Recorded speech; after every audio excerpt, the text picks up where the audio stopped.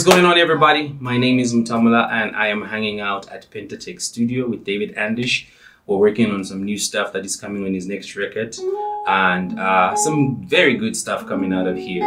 And um, I'm really looking forward to what's gonna happen. It's a great place to be, nice to hang out, you know, nice to be with friends, you know, um, who appreciate music, who love music, and you can put some great art together. So I'm really having a great time. If you're looking for a studio, looking for a place where you can, you know, expand your creativity or just be able to do something that is a little different but with quality and stuff, then Pentatech is the place to be. So take care, y'all.